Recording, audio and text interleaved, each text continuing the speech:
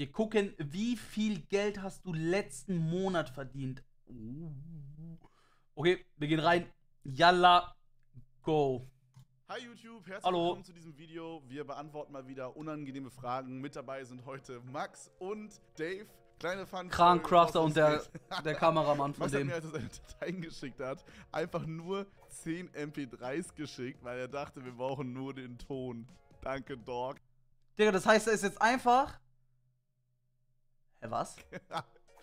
Freunde, wenn euch das Ganze gefällt, dann lasst gerne einen Daumen nach oben. Warte, was? dachte, wir brauchen nur den Ton. Dateien geschickt hat, einfach nur Ich, ich scheiß auf. Willkommen zu dieser Folge von Unangenehme Fragen. Hallo, vielen Dank für die Einladung. Kevins gut Seit wann hat Dave eine Glatze? aussehender Cutter Timo hat heute wieder 10 Ich muss lauter machen.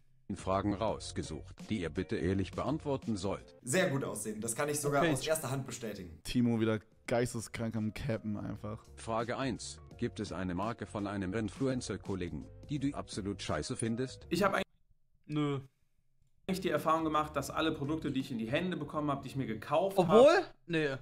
habe, wirklich cool Nee. waren. Was ich aber nicht Von so nice finde, nicht. sind so einfache. White-Labeling-Produkte, wo Nee, einfach keine ein Logo Ahnung. Auf ein bestehendes Produkt geklatscht wird und dann als innovativ verkauft wird. Aber mir fällt selbst da nichts Besonderes ein. Ja, äh, bestimmt auch nicht nur eine. Es äh, kommt auch immer ein bisschen auf die Kollektion an. Aber die werde ich Hä? nicht nennen. Mittlerweile ist es so, dass es so viele Marken gibt. Er muss es doch nennen. Das ganz geil ist, dass man sich aussuchen kann, hey, das gefällt mir, das will ich kaufen, das will ich nicht kaufen. Oder? Und ich finde Also es ganz ich- cool, ich- dass ich die Entwicklung mich so ein nix. bisschen dahin geht, dass. Brands von Leuten gekauft werden, die man Obwohl die scheiß Kondome von Papa Platte platzen immer. cool findet. Spaß? Nee, keine Ahnung. Also ich, ich habe ehrlich nichts. anstatt dass man bei Zara und H&M und so einkaufen geht. Deswegen finde ich die Entwicklung an sich mega geil, aber es gibt natürlich Brands, die ich nicht unbedingt feiere. Boah, also ich würde jetzt nicht direkt Scheiße sagen. Das ist jetzt auch ein bisschen übertrieben, so egal wie kacke man vielleicht das Design am Ende Obwohl doch, obwohl doch, wichtiges BRC Cosmetics sind die schlimmsten. des Tages findet. Ich glaube, da gibt es immer viel Arbeit zählt. und Liebe, die reingeflossen ist. Ich glaube, ich habe zum Beispiel die erste Kollektion von AMA jetzt nicht so gefeiert. Und Hugos Pappschild ist auch scheiße. Muss aber auch sagen, dass sich das halt übelst verbessert hat und ich das, äh, die zweite und ich glaube der dritte Drop, dass ich den zum Beispiel auch viel cooler fand als den ersten. Den ersten fand ich halt so semi-fresh. Aber ich glaube jetzt, fresh. Jo, das ist übelster Müll. Äh, hatte ich jetzt persönlich noch nicht. Ich auch nicht, außer bei wichtiges Ja, Cosmetics. hey, das würde ich jetzt wahrscheinlich eher nicht tragen. Frage 2. Wie viel Geld ging letzten Monat auf dein Konto ein? Unangenehm, Digga, da ging irgendwie 5 Millionen weg. Digga, ich habe keine Ahnung. äh, weil im letzten Monat super viel Geld aus den letzten Monaten angekommen ist, damit es noch vor Jahres... Äh, Soll ich gucken? Ich gucke jetzt auf mein Bankkonto. Zusammenrechnen. Ich kann nicht, ich muss, ich brauche einen Taschenrechner. Ich brauche actually einen Taschenrechner. So. Das. Aber ich musste. Ich.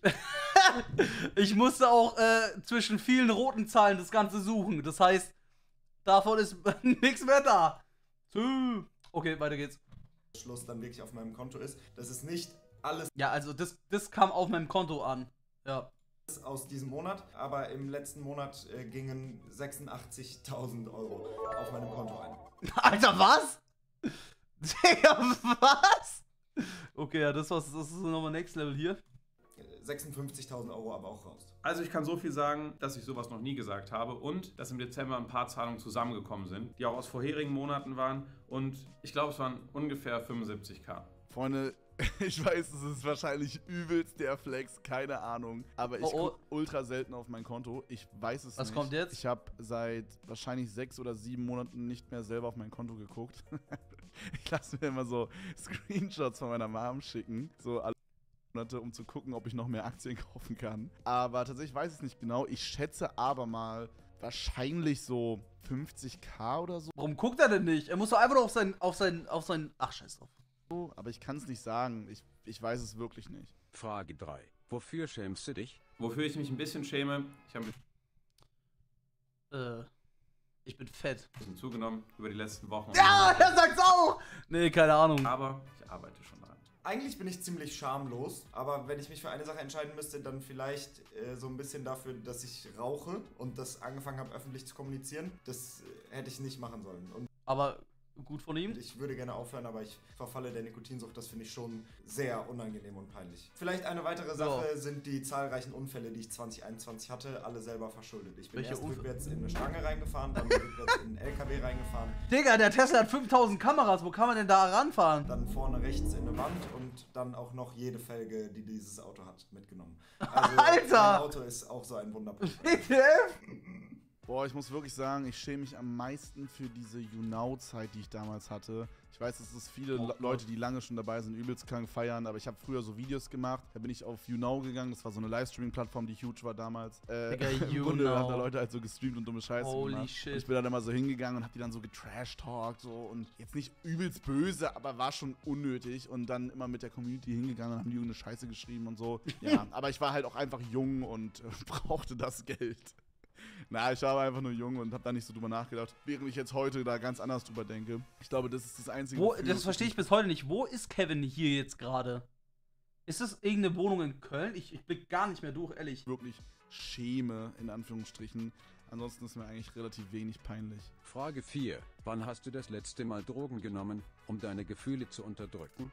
Noch nie. Um ehrlich zu sein, habe ich das, glaube ich, noch nie gemacht. Boah, ich weiß nicht Ja. tatsächlich, ob ich das überhaupt schon mal gemacht habe. Ich war da nie so großer Fan von. Meine Mom hat mich übelst krank gut erzogen, was das angeht, finde ich. Äh, ich hoffe, ich kriege das bei meinen Kindern später auch hin. Ich glaube tatsächlich, das habe ich noch nie gemacht. Ob das war, um meine Gefühle zu unterdrücken, kann ich nicht sagen. Das müssen die Leute um mich herum sagen. Aber ich habe an Silvester 2021 auf 2022 Drogen genommen. Frage 5.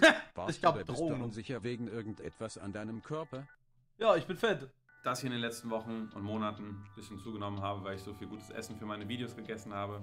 Junge. Ist aber Stimmt. Ähm, nicht wirklich unsicher, aber man merkt schon, dass die letzten Jahre 10 Stunden am PC sitzen ihre Spuren hinterlassen haben, der Sport zu kurz gekommen ist. Das, was ich fühle mich dieser nicht Mann sagt. unwohl in meinem Körper, es gibt eigentlich wenig. Im Sommer ist vielleicht so ein bisschen, ich habe so Aber PogChamp-Diät läuft. Schuppenflechte, ich habe auf dem Oberkörper überall so rote Punkte, so Habe ich auch, aber ich hab's auf dem Kopf. trockene Hautstellen. Das sieht ein bisschen weird aus, ist aber nicht ansteckend, nicht gefährlich. Das sieht einfach nur scheiße aus. Das ist vielleicht manchmal so ein bisschen unangenehm, aber ansonsten nichts Größeres. Also ich würde nicht direkt unsicher sagen. Ich bin eigentlich ziemlich confident und ziemlich froh, so wie alles halt passiert ist in meinem Körper.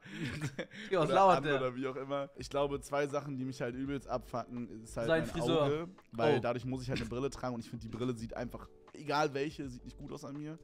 Und ich habe sehr, sehr große Zähne, Dicker. Ich finde, die sehen so aus, als könnte ich so, so ein Reh damit erlegen. Ich weiß nicht, Alter. Junge. ich habe das Gefühl, die sind ein bisschen überdurchschnittlich. Aber ich weiß, was er Frage meint. 6. Wann hast du das letzte Mal Content gebracht, welchen du nicht mochtest? Nur weil es funktioniert hat? Mm, der Reaction-Channel. ja.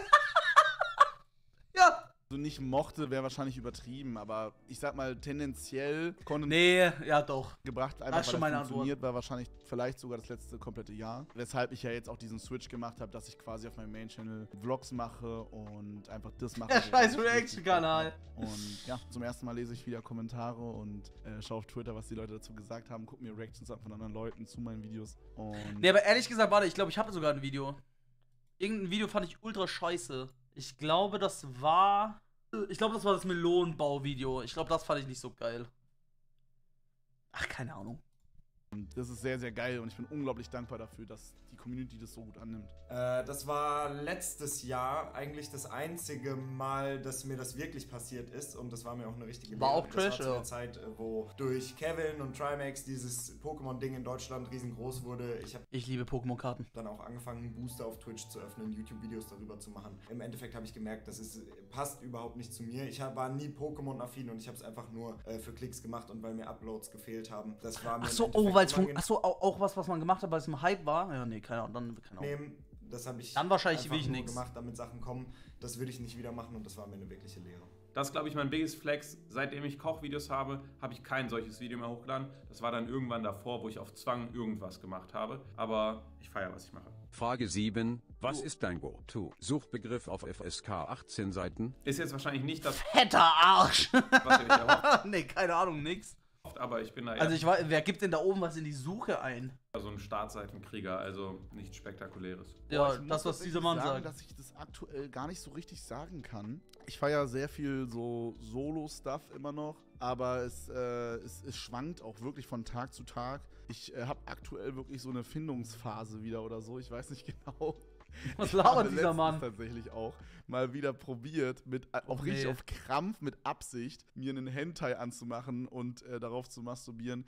Es hat nicht funktioniert, Freunde. Ansonsten Digga, bin ich eigentlich sehr im Saucy? Curvy-Bereich unterwegs, sage ich mal. Das spricht mich dann persönlich doch am meisten an, würde ich sagen. Das Ding ist, ich bin ein Startseiten-Warrior, denn auch da. Ein Startseiten-Warrior. Der Algorithmus äh, mittlerweile ist ziemlich gut. Ich habe wenig Go-To-Suchbegriffe. Ich habe mich davon Halt's entfernt, Maul! eine halbe Stunde irgendwas rauszusuchen, äh, bevor es losgehen kann und nehme irgendwie das, das Erstbeste, um nicht zu lange auf den, auf den Webseiten zu verbringen und damit zu viel Zeit zu verschwenden. Aber ich habe angefangen, Kommentare zu lesen. Das kann ich jedem von euch nur raten. Das ist sehr unterhaltsam. Besser als auf YouTube noch. Achso. Frage 8. Wann hast du das letzte Mal etwas Illegales gemacht? Und was war es? Ich habe da wirklich. Keine Ahnung. Sorry, ich war letztens Ehrlich, keine Ahnung. Skiurlaub. Da muss man eigentlich Maske tragen. Wenn es leer war, habe ich keine Maske getragen. Wow. Welcome to San Andreas. I'm CJ from Grove Street. Boah, das ist echt Nee, schwer ich weiß ehrlich nicht. Kann ich. Was ist mal. Keine Ahnung, zu schnell gefahren. zu sagen. Vermutlich war es Grasrauchen. Ähm, und das war wahrscheinlich Kiffort. Vier Tagen oder so. Schön, muss Kevin. ich sagen, bin ich eigentlich ziemlich legal unterwegs. Also meine Mom hat mich da echt ziemlich vernünftig erzogen. Ja, muss ziemlich legal unterwegs. Erstmal einen fetten Joint ballern. Äh, ich habe tatsächlich noch nie was geklaut mit Absicht aus einem Supermarkt. Also ich bin da eine, eine fucking Bitch. Deswegen, ja, ich glaube, das ist das Krasseste, was ich gemacht habe. Drogen genommen an Silvester diesen Jahres. Digga, Drogen Äh, nehmen das hört sich so dumm an. Und ansonsten bin ich eigentlich ziemlich straight äh, rechtschaffender Bürger und ähm, lasse mir wenig zu Schulden kommen. Hier und da vielleicht mal ein bisschen zu schnell gefahren, wo jetzt äh, Oh ja, doch, was ich da- ich ich hab heute in einem wo geparkt, wo man nicht parken darf, aber ich parke da immer, weil immer alles voll ist, ist auch scheißegal. Der Anwalt probiert, mich vom Fahrverbot zu befreien. Ähm, Digga, was? Digga, Dave, Alter. Junge, dass Dave ein Auto hat, ist auch so, Digga, der fickt alle Felgen, fährt hinten, vorne, rechts an der Seite mit seinem Auto an, ist, äh, hat fast, hat bald Fahrverbot. Was macht der Junge denn? Keine Anzeige, keine Vorstrafen. Ich habe früher ein paar Sachen gemacht, die man vermutlich illegal einstufen könnte. Ähm, das kann ich aber, das würde hier den Rahmen sprengen, das kann ich hier nicht bringen. Frage 9. Würdest du von dir selbst sagen, dass du ein guter Mensch bist? Jo. Ich würde sagen, ja. Also, ich glaube, ich habe einen guten Einfluss auf mein Umfeld. So, ich helfe jedem, wo ich kann und mache das natürlich aber auch nur, wenn ich checke, dass die Leute aufrichtige Intentionen haben. So, und da bin ich aber auch bereit, uneingeschränkt quasi zu geben. Also auch Arsch zu geben, natürlich. Das müssen wir meinen Angestellten fragen. Leo, bin ich ein guter Mensch? Ja? Ja? Safe, Digga, hinten in der Kamera. Safe, safe, du bist ein guter Mensch, Mann. Okay. Ja, äh, ich würde von mir selbst sagen, dass ich ein guter Mensch bin. nee, aber ich weiß wirklich nicht. Also ich bin ziemlich straight. Ich könnte vielleicht mal unangenehm dadurch auffallen, dass ich Leuten vorhalte, wenn ich irgendwas scheiße finde. Abseits davon läuft aber eigentlich alles und ich bin ziemlich zufrieden damit, wie ich mit anderen Leuten umgehe, was ich so mache und so. Äh, ich glaube schon. Ja, Ähm, so. ich meine, ja, also all in all auf jeden Fall. Ich habe auch meine Fuck-Ups und bin manchmal irgendwie kacke zu Leuten. Manchmal, wenn Leute mich nach ihrer Meinung Ich fuck immer wichtiger im Stream ab und sage, er ist ein Noob und L und Baby Rage, aber es stimmt auch. fragen, sage ich nicht, hey, das ist nicht so gut, sondern ich sag halt, das ist ultra shit. und ich übertreibe dann halt so. Das ist halt so ein, zwei Sachen, so schlechte Eigenschaften, die ich habe. Ja. Genauso wie, dass ich nicht so aufgeräumt bin. Aber all in all im Was? Gesamten würde ich eigentlich sagen, dass ich ein sehr guter Mensch bin. Ich habe das Gefühl, ich möchte für jeden meiner Freunde und Familie immer nur das Beste. Äh, Gehe so toxischen Shit so gut wie es geht aus dem Weg. Manchmal hat man ein bisschen Bock auf so Stress oder so, aber das versuche ich so gut wie es geht Manchmal hat man Bock auf weiterzuentwickeln. Und, Was labert äh, dieser ich bin Mann? eigentlich auch relativ selbstreflektierend. oh Mann, Alter. Frage Ja. 10. Wann hast du das letzte Mal jemanden ernsthaft angelogen? Gestern Hugo, ich bin aber nicht ans Telefon gegangen, obwohl ich zu Hause am PC war. Ich hatte einfach keinen Bock.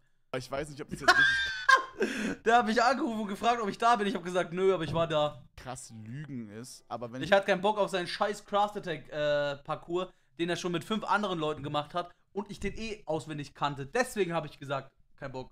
Jetzt zum Beispiel einen Termin Aber habe ansonsten, um äh, 14 Uhr und ich weiß nix. genau, Alter, ich fahre da easy eine halbe Stunde hin und äh, die Person fragt, wann ich ungefähr komme und ich sage dir so, ja, hey, ich verspäte mich leider. Dann sage ich immer so, ja, ich verspäte mich um 10 Minuten, obwohl ich genau weiß, ich verspäte mich zu 100% zu Minimum 20 Minuten. Schön. Aber ich habe immer das Gefühl, es kommt dann so ein bisschen gechillt darüber, als wenn man sagt, yo, ich komme 20 Minuten zu spät, weil 20 Minuten ist so ein richtiger Brocken. Aber Das so stimmt. richtig krass gelogen, glaube ich, ist schon echt lange her. Also ich habe mal in einer vergangenen Beziehung quasi, während ich in der Beziehung war, mit einem Und anderen vor ein paar Wochen meintest du, Bull ist Baba Content so Fresse.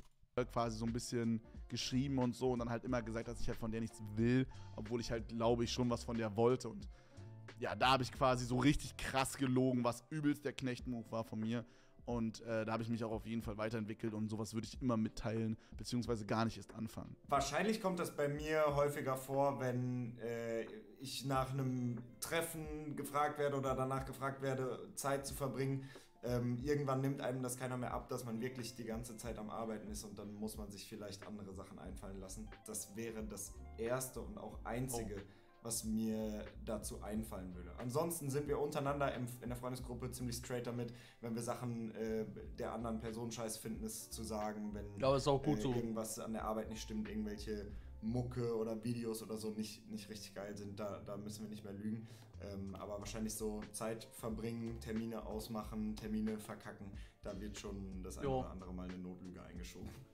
Letzte Frage, da fällt mir auch, wenn ich länger drüber Was ist die nachdenke, letzte Frage? Danke fürs Ey, ey, Beantworten. ey, ey, ey, Gehabt ey. euch wohl. Euer Mr. Treshbeck. Ich danke vielmals. Danke für die Einladung. Äh, ich hoffe, euch hat es Danke, dass wir das Video angucken habt dürfen. Yeah. Ja, war Banger Video. Und ich habe alles beantwortet, denn ich bin ein guter Typ. Yeah. Das gibt ein Like. Ja, war ein gutes Video. War actually äh, cool anzugucken.